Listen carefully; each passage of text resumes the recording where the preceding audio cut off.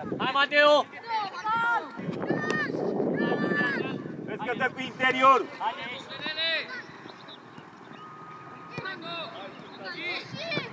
Foarte bine, băieți! Haide! Bine, bine, bravo, bravo, Mateo! Gabi, ia-i odată fața, Gabi! Hai, hai, stop, hai! Jacu! Hai, Gabi! Uite, uite!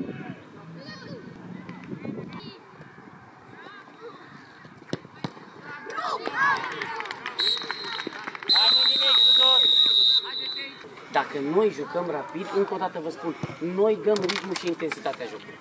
Ați înțeles?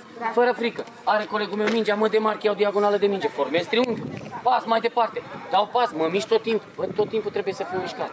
Ați înțeles, băieți? Da, Bă, fără frică. Eu trebuie să intru tot timpul în teren cu mentalitate de învingător. Suntem la a treia ediție uh, a turneului Campionii creează campioni. Deci importanța acestui turneu constă în uh, depistarea tinerelor talente.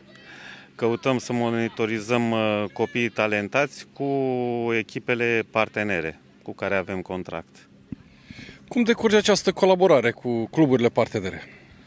Uh, Ținem legătura periodic, la 3 luni, la 6 luni, uh, uh, partenerile vin în uh, baza noastră, uh, își etalează uh, copiii talentați, Uh, totodată și noi mergem în teritoriu, de multe ori, uh, știu eu, pe la Vâlcea, uh, la Severin, în București, uh, unde la fel uh, căutăm uh, să ne uităm la antrenamentele lor, cum se desfășoară antrenamentele, uh, jocurile și mm, cam acestea sunt, uh, sunt obiectivele noastre.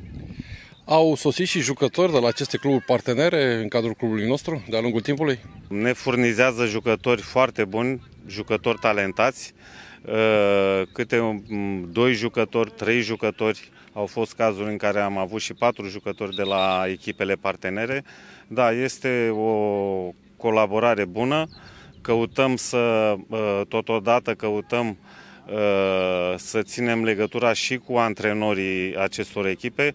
Au venit și ei la noi în bază, au participat la antrenamente, uh, au văzut stilul nostru de joc, conceptul nostru tehnic și eu zic că e un lucru bun uh, pentru depistarea talentelor.